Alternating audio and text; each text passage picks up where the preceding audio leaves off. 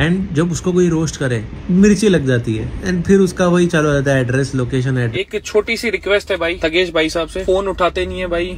Thagesh versus रजत दलाल का एक बहुत ही बड़ा कंट्रोवर्सी स्टार्ट हो गया है। तो जैसे कि आप सबको पता है कि रजत दलाल का कुछ दिन पहले बहुत सारे कंट्रोवर्सी चल रहे थे तो उस चीज़ को लेकर थगेश ने रोस्ट किया था और उस वीडियो में काफ़ी कुछ बताया था रजत दलाल के बारे में। फिर रजत दलाल का किसी फ़ैन ने स्टोरी लगाया था रजत दलाल को टैग करते हुए और उसने बोला था नेक्स्ट टारगेट फिर रजत दलाल इसके ऊपर बोलते हैं, पता नहीं बार बार स्टोरी हट रही है, इस हीरो का एड्रेस है किसी पे? और नीचे टैग किया था थगेश को। फिर इस स्टोरी का रिप्लाई किया थगेश ने भी, भाई को कोई बताओ, फरीदाबाद के बाहर भी दुनिया है, जहाँ पे इनकी नहीं चलती। और फिर थगेश ने इसके ऊपर एक वीडियो बना के रिप्लाई किया तो उन्होंने क्या कहा पहले? तो आप ये वीडियो देखिए। हाँ तुम लोगों को पता है ये फालतू सब लफड़े में मैं पढ़ता नहीं कंट्रोवर्सी में बट यहाँ पे मेरे को फनी इसलिए लग रहा है क्योंकि जो बंदे का लिटरली कंटेंट वही है वही है कि किसी को लाइव पे लो, उसको ट्रोल करो, उसको बुली करो एंड जब उसको कोई रोस्ट करे तो मिर्ची लग जाती है।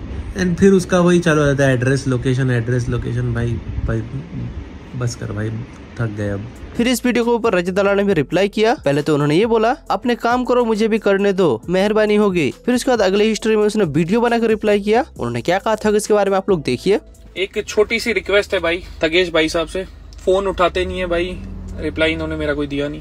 या तो भाई आप अपनी वीडियो हटा लो। बाकी अगर आपको लगता है उस पर एंगेजमेंट अच्छी आ गई है कमेंट अच्छे हैं व्यूज़ अच्छे हैं तो एक छोटी सी स्टोरी बना के डाल दो कि हाँ भाई मेरी गलती थी, मैंने बंदे से पूछा नहीं। उसके बारे में ये सब डालने से पहले। बहुत लॉजिकल चीज़ है सेंसफुल है कि आपका पूछना बनता था। आप एक अच्छे खासे ऑडियंस को मॉनिटर करते हो, आपके पास अच्छी खासी ऑडियंस है। आप इस तरह की हरकत करते हुए अच्छे नहीं लगते। बाकी मेरे को इस पार्ट पे कोई एंगेजमेंट लेनी नहीं है। अब आगे की चीज़ें उसी हिसाब से होंगी, जैसे आपकी पार्ट पे रिस्पॉन्स आएगा। ख्याल रखो। तो भाई बहुत सारे लोग बोल रहे हैं कि भाई ये कॉन्ट्रोवर्सी फेक है स्क्रिप्टेड है। तो आप लोग को क्या लगता है कि ये स्क्रिप्टेड है? आप लोग कॉमेंट में ज़रूर बताना। और चैनल को सब्सक्राइब करना आगे इस कॉन्ट्रोवर्सी के बारे में अपडेट जानने के लिए।